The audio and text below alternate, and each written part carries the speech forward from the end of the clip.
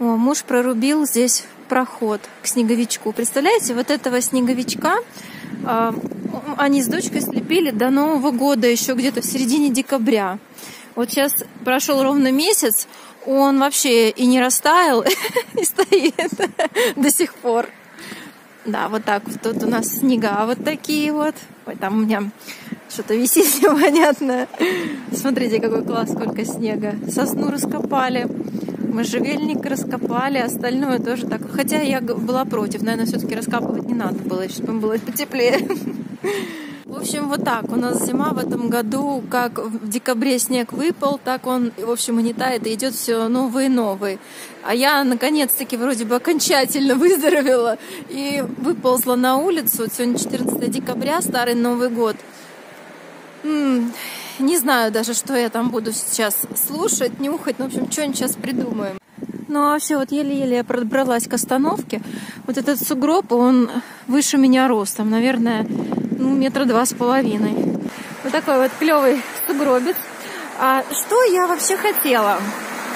Я хотела купить зарядное устройство. Короче, я обнаружила, что у меня дома есть же зеркальная камера, и я могу снимать, по крайней мере, вот этот собакин все время ко мне подходит. Вот это все время. Эй, не бей! Вот. И я поняла, что я на зеркальную камеру могу снимать э, более качественные видео дома. Но я не могу найти зарядное устройство. Вот мне надо купить зарядное устройство, если я его только найду. И будет мне счастье, как говорит сам. Так, у меня ничего нету. Ай! Не прыгай на меня. Еще один, еще один пришел. Они мне носом всю камеру запотели. Села в автобус и сразу же вышла. Ну, благо мне надо было действительно выходить тут на одной из остановок. Вот сейчас, правда, лучше ходить, наверное, пешочком. Несмотря на то, что вроде бы как холодно, ну, нет такого там дикого мороза. Ну, есть, конечно, минус. Я не знаю даже сколько сегодня. Ну, минус 5 точно, наверное. Может, побольше. Фиг его знает. Ну, в общем, э, ну, но в этой маршрутке все кашляют, все чихают. Я думаю о том, что, конечно, лучше, лучше пешком пройтись. Что, потому что там сплошные эти вирусяки. Да, и по поводу вот этой, как э, зарядки, она у меня есть, ну, была, по крайней мере, в Крыму точно. Я просто, такое впечатление, что при переезде я ее там забыла. Сейчас зашла в связной, они мне говорят, ну, вы можете заказать на сайте, она стоит 3-4 тысячи. Думаю, нафиг она мне нужна. Ну, в общем, буду искать либо свою, либо такую, э, какую-нибудь, может, левую купить, я не знаю, там, я видела, есть такие предложения. Потому что 3-4 тысячи, извините, я могу себе духи купить и снимать на свой э, телефон. Вот, вон там кругом висят сосульки. Короче, идти вообще невозможно. Смотрите, какие падают. Капец, да? Такая прям ну, снежная королева. Смотрите, какие сосульки падают. Это я зашла в Нью-Йоркер. Смотрите, прямо какая футболочка. Это же прямо наша тема. Духи. Ну, блин, только М-ки и Эльки. М-ка вообще, вот эта М-ка, он висит. Висит плечо. В общем, останусь я без вот этой чудной футболки. А так прикольно было бы, да? Мне нравится. Ну да, как-то широка. Широка она прямо такая огромная. Это что там это Евелина Хромченко все время говорила раньше. Я уже давно не смотрю эту передачу. Типа, вы там с котятками футболки не носите. Кому там после 35 вам только вот этот вот, как этот, воротничок вот такой вот беленький, тут все черненькое, все по пятке обязательно, коленочки прикрыть и прямиком, э, сами поняли, куда уже можно укладываться. Общем, а я бы вот купила бы вот эту футболочку, если бы у меня был бы размер ага, поменьше. Себе еще нарыла вот такую вот кофточку. это. Что там получается? Ну, типа того. Не знаю, мне нравится, вроде такая прикольная. Да? Ни, ничего. Такая вроде бы неплохая, да? Немножко, конечно, просвечивается, но как-то так не критично. Что, мне идет такое? Есть еще вот такая. Это точно такой же фасон, но другая расцветка. Такие тут цветочки. Ой, поярче как-то сделать. Ну, это тоже прикольная, да? Какая лучше? Вот та или эта? Еще есть голубая. Сейчас покажу голубую.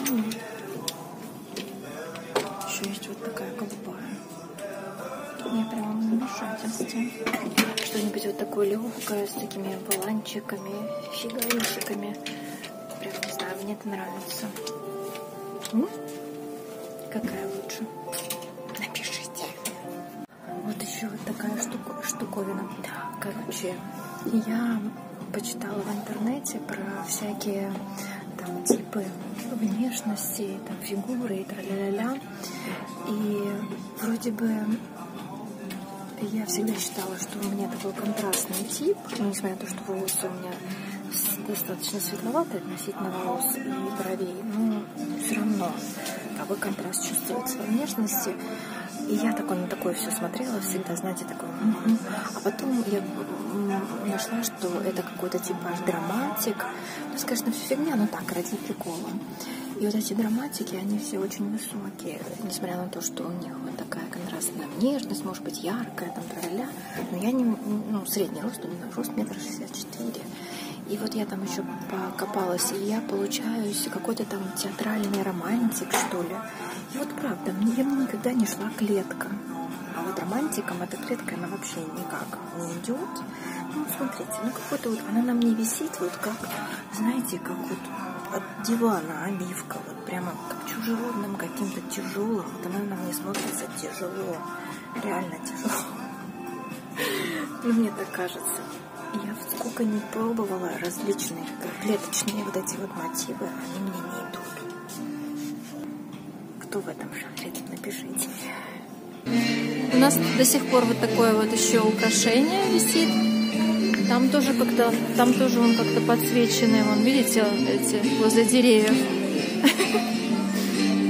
Я почему, э, какой-то у меня сейчас влог получается просто такой, влог я гуляю без духов, потому что я думаю на самом деле об одном парфюме уже несколько дней, о ликерном ангеле. Мне какая-то там вожа подход села, и мне очень хочется его себе купить. Но с другой стороны, я начинаю уже рассуждать, знаете, вот в таком варианте, как э, совсем не продвинутые парфманьяки. Но у меня это почему-то приходит как раз-таки со временем. Первое, первое время я считала, что ну, подумаешь, что в старый парфюм, там, винтажи, они же там не портятся и все такое прочее. Но сейчас я почему-то как-то предпочитаю новые парфюмы. Я не знаю, с чем это связано. Я просто как представила, что этот ликерный ангел 2009 года рождения, ему уже получается 10 лет.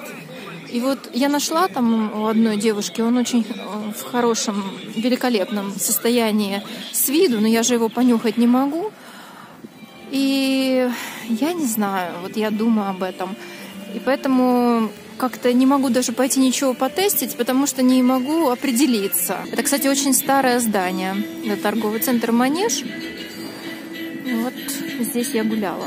В общем, я хожу и думаю об этом ангеле, и поэтому не могу ни на что другое смотреть. Тем более, что ликерный ангел я тестила очень-очень давно. Это было ну, довольно-таки давно, в 2012 году в Праге там я запомнила только флакончик, что флакончик был очень темный. А флакончик еще темный, похоже, дизайн флакона у шоколадного ангела. И вот мне что-то кажется, что я тестила фиолетовый флакон, а шоколадный именно в темно-фиолетовом флаконе. Мне он очень понравился. Его тоже сейчас можно еще найти купить. Но о нем ходят такие слухи, что он какой-то нестойкий. И, честно говоря, после того, как у меня появилась Лайла Клав, которая... Ой, тут столько сосулек, я опять иду по этой опасной улице. Вот. Когда у меня появилась эта Лайла Клав, то там тоже, э, ведь ангел с какао, вот этот, и Лайла Лав с какао. И я, честно говоря, смотрите, какие я тут по снегам. Я, честно говоря, не вижу какой-то особой вот сейчас такой необходимости покупать мне тут дерево, э, шоколадный ангел. А вот ликерный мне бы хотелось бы. Тут главное не завалиться, потому что здесь под снегом вот такая вот каша, вот здесь такая каша, и там лед, прям конкретный лед. Ох, ходила, мерила эти кофты и уже, наверное, опоздала в э, фотоцентр, потому что мне посоветовали зарядку. Э, здесь продается универсальная зарядка в видео, но она не подходит. Мне посоветовали зайти типа там в Сивму или еще куда-то, вот в такое место, поискать вот эту зарядку. Но с другой стороны, меглеровские... Ой, тут такое страшное все.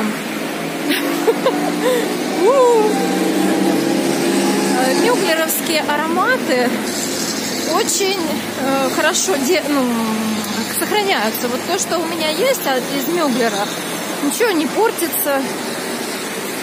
Ну, десятилетней давности... А, есть Элиан у меня из десятого года, кстати. И он как новенький в плане звучания, все. В общем, я не знаю, просто если бы хотя бы была возможность это послушать, понюхать, как он там себя чувствует, ангел. Ну, продавец говорит, что великолепно, все замечательно. Выглядит все, опять же, говорю, шикарно. И сам флакон, и коробка. То есть э, это надо еще умудриться так хранить 10 лет. Там все идеально, как будто вот его только распечатали. Ну, не знаю. Да, конечно, мне насоветовали пипец. Я приехала в этот фотосалон, они на меня глаза выпучили и говорят, нет, у нас нет никаких там незарядных, ничего. Ну, потом я подумала, ну, действительно. И, в общем, в другое место меня направили. Не знаю, сегодня, наверное, уже не успею. Кстати, вон там позади меня сум светится. Скоро будем снимать чего-нибудь. Надо, да, снять интересное что-нибудь там же. У нас очень много нишевых парфюмов, парфюм-арт. А я сейчас заскочу в Пушкинский. Хочу посмотреть там еще кое-что. Кожаные штанишки. Ну, не кожаные, наверное, под кожзам. Они сделаны, знаете, из такого жемчужного такого цвета. Я просто увидела их одним глазком. И сейчас мне хотелось померить. Но если они там остались, Сейчас покажу вам еще немножечко с этого,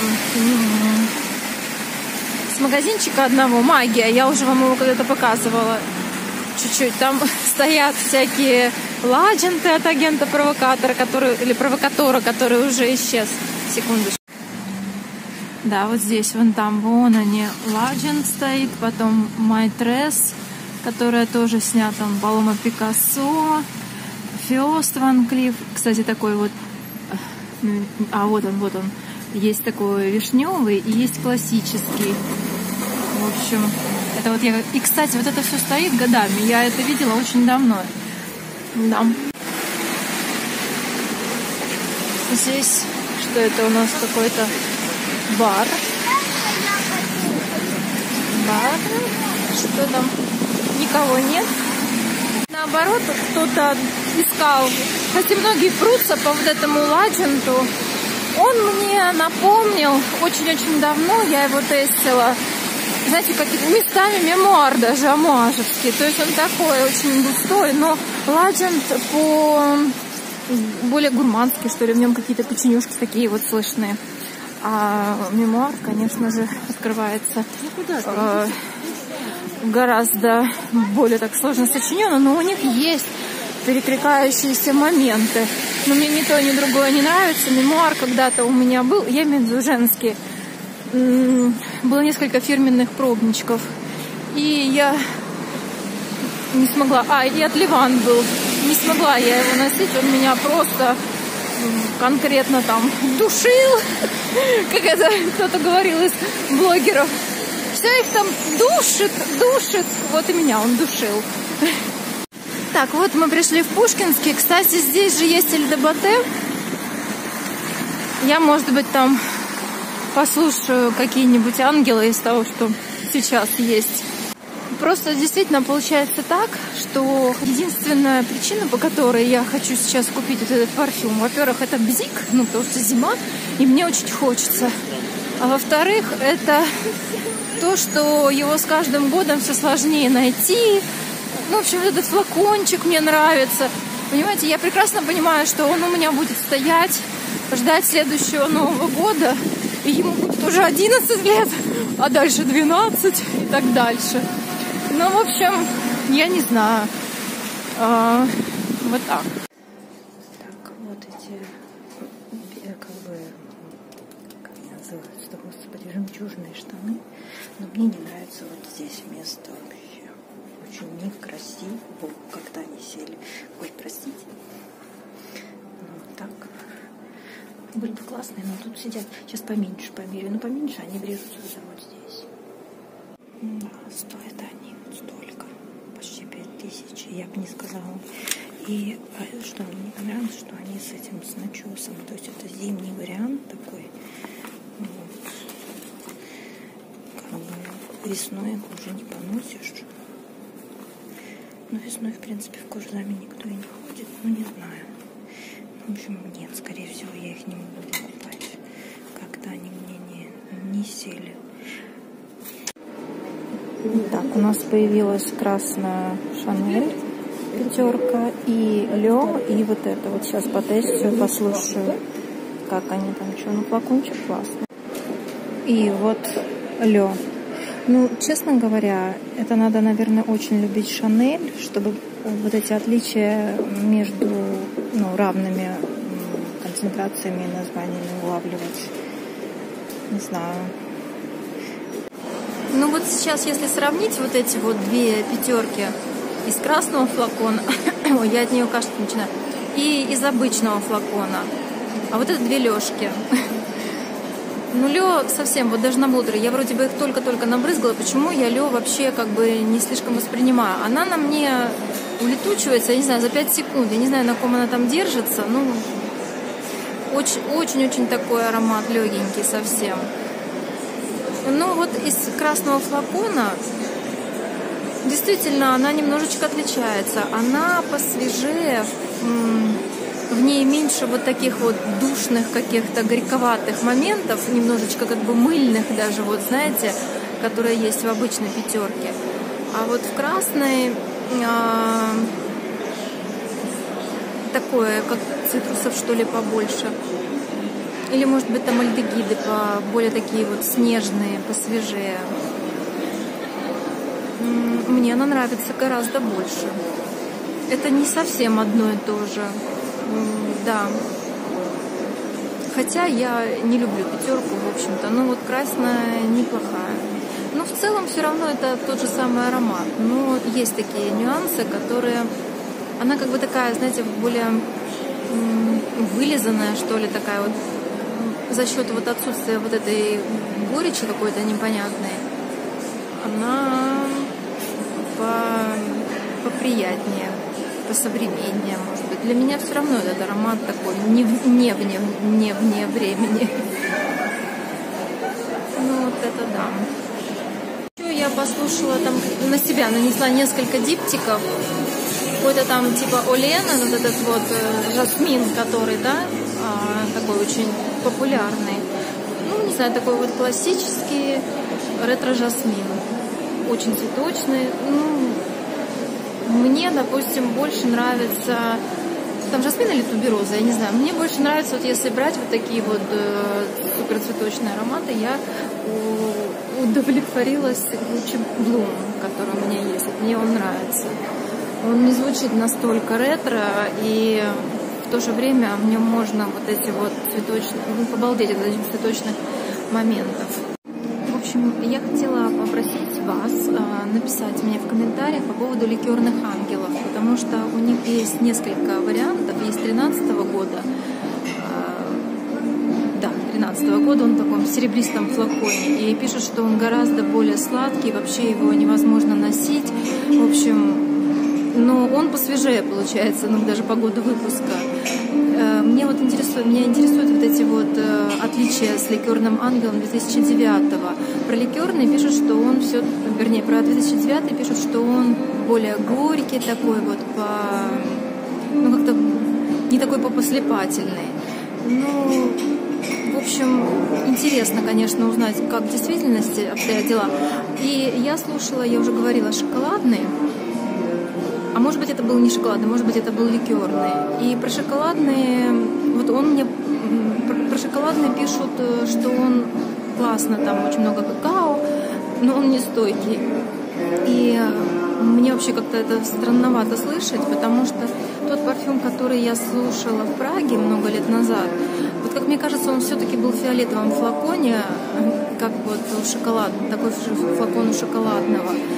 И он очень здорово отличался от обычного ангела, и мне он очень понравился. А может быть, это был и ликерный, просто темный флакон, я вот перепутала. То есть, ну, пожалуйста, напишите мне, вот у кого они есть, вот все-таки побольше информации, потому что мне уже голова идет кругом. И вообще, так ли вот это все, вот эти отличия, так ли долго держатся в итоге? Потому что то, что слушала я, вот что-то, либо шоколад, либо ликер в темном флаконе, оно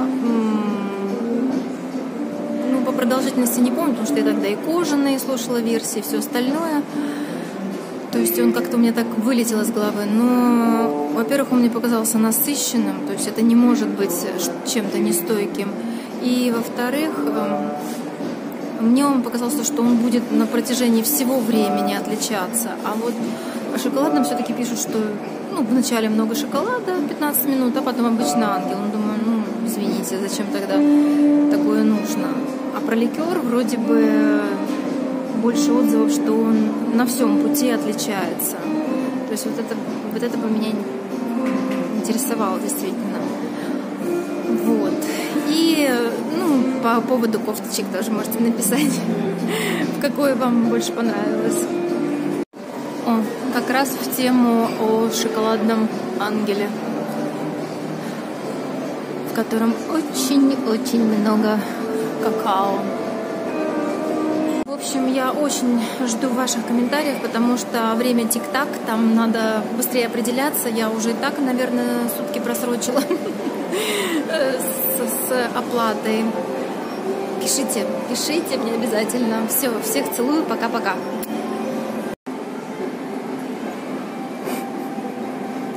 Ну, почти так же, да? И феминиту вот сегодня нанесла. Я еще себе брызнула феминиту немножечко на руку. Тоже классно. Поэтому я и сомневаюсь, потому что столько но, нового всего, ну, по крайней мере, для меня лично, да. Хотя я феминиту уже давно-то знаю, но вот в плане использования мной. То есть я же не пользовалась этим парфюмом. А ангелов у меня уже было перебыло. Ну, в общем, не знаю. Да, поэтому ну, поделитесь э, своим мнением на этот счет со мной.